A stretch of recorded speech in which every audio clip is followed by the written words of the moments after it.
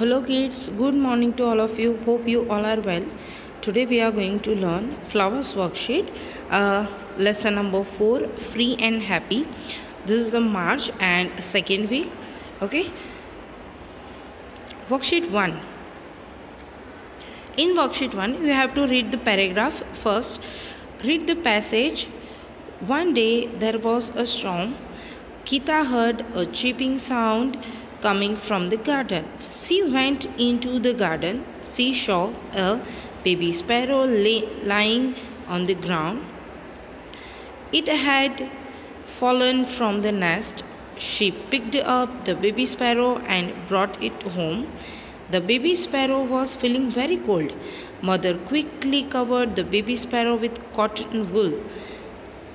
The baby sparrow felt warm. It began to chirp.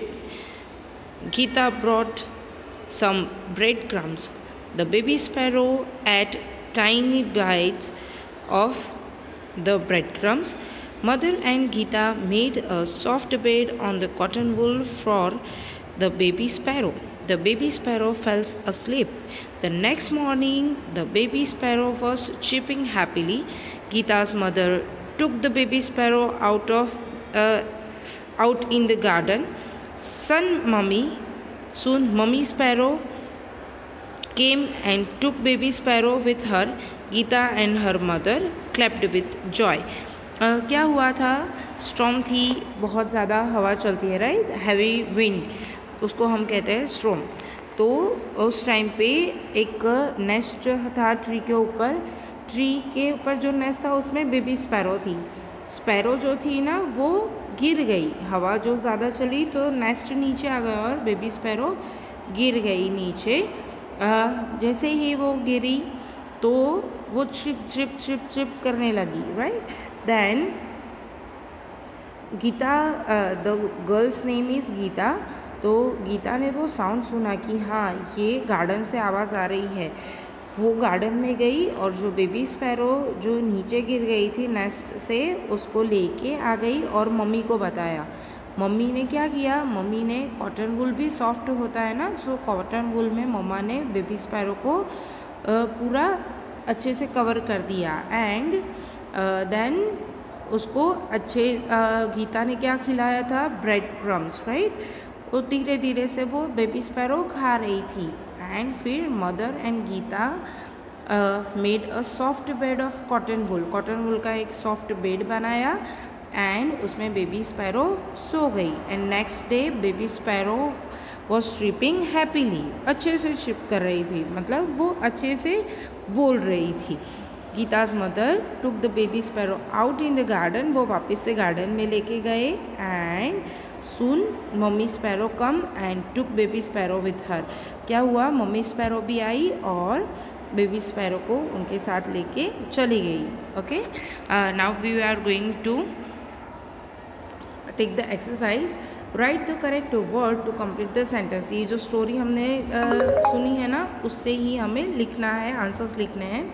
One day there was a storm और party storm right तो वहाँ पे आपको blank में mention करना है S T R O M storm then Gita heard a क्या सुना था उसने? ट्रिपिंग साउंड सुना था या loud thunder chirping sound right तो C H I R P I N G S O U N D okay then she saw a dash on the ground किसको देखा था? लिटिल कीटन और baby sparrow baby sparrow so you have to write B A B Y baby S P A double R O W baby sparrow then the baby sparrow had fallen from its nest और was eating seeds क्या कर रही थी? हाँ गिर गई थी right so had fallen from its nest then mother quickly covered the baby sparrow with किसे कवर किया था? कॉटन वूल से. या कॉटन ब्लैंकेट से? नहीं राइट कॉटन वूल से. So we have to mention C O double T O N cotton W double O L wool cotton wool okay this you have to complete in your flowers worksheet. Next is tick the correct sentence which are true जो सही है, उस पर आपको tick करना है। First is Gita gave the baby sparrow some biscuits to it नहीं bread crumbs दिए थे राइट सो यहाँ पे रॉन्ग करना है आपको। Then mother made a bed of cotton wool for a baby sparrow cotton wool का बनाया था ना so we will tick then the next morning the baby sparrow was tripping happily yes so वहाँ पे भी आपको टिक करना है. Then next is worksheet two look at the picture write the names of this birds choose words from the box क्या करना है आपको? uh, देखना है कि इसका पिक्चर है and you have to mention the name options में क्या दिया है? आउल है परकिट है पिजन है ऑस्ट्रिच है स्वान है एंड क्रो है. So first is the picture of parakeet so you have to mention P A R A K double E T parakeet then next picture is of second is of crow C R O W crow then third is the picture of owl, o w l, owl. Then the fourth is the picture of pigeon. P-I-J-E-O-N, pigeon. Then fifth is the picture of ostrich, O-S-T-R-I-C-H, ostrich. And sixth is the picture of swan, S-W-A-N, swan. Okay. Then in the next exercise, fill in the boxes with letters from the cloud.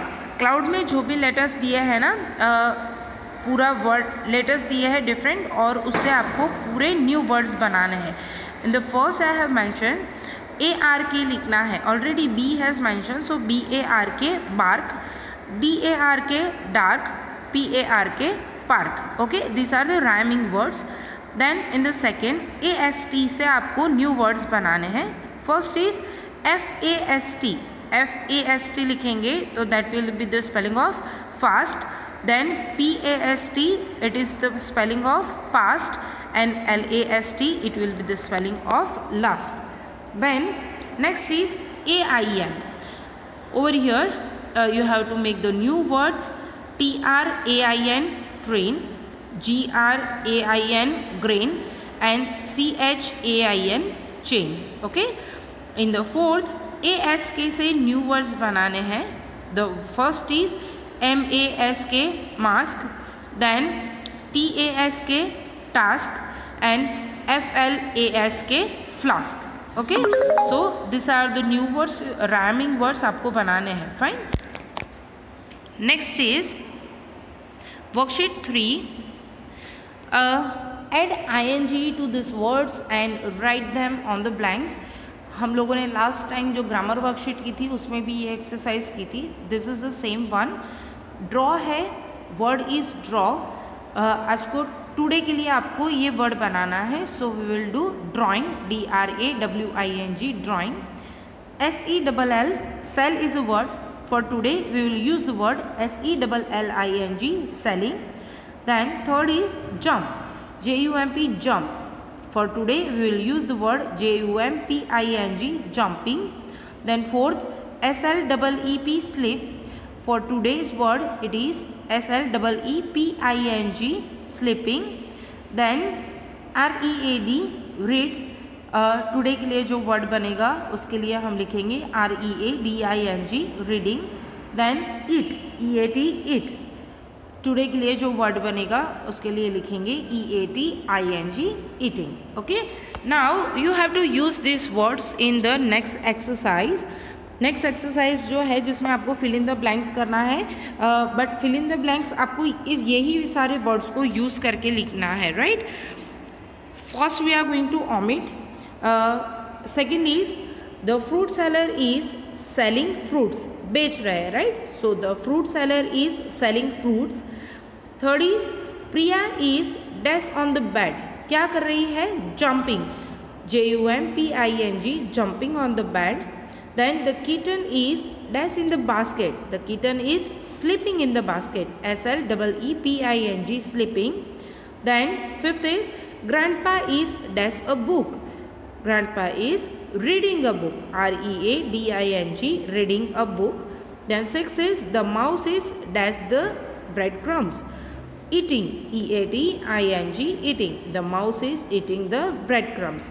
First we are going to omit. Second is the fruit seller is selling fruits.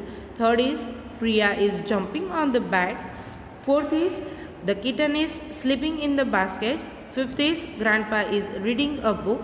Sixth is the mouse is eating the breadcrumbs okay on the next exercise write the yesterday words for this words आपको yesterday के लिए हम लोगों ने last time words लिखे थे तो what you have added ed right so the same you have to do lock locked l o c k e d locked then second is watch watch w a t c h e d watched then third is play played p l a y e d played then fourth is c double o k cook.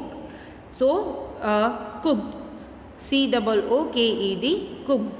Then j u m p jump jumped. J u m p e d jumped. Then six is p u double l pull pulled. P u double l e d pulled. Then seventh is c l e a n clean so for the yesterday word it is clean. C-L-E-A-N-E-D. Clean. Then it is open. Open. Open. O-P-E-N-E-D. Opened. Then ninth is work. Worked. W-O-R-K-E-D. Worked. Then tenth is add. Added. A-double-E-E-D. Added. Okay. So you have to make the yesterday words first is lock locked. Second is watch watched. Then play played. Cook cooked. Jump jumped. Pull pulled. Clean cleaned. Open opened work worked. Add added. Okay? So this one you have to do in your worksheet.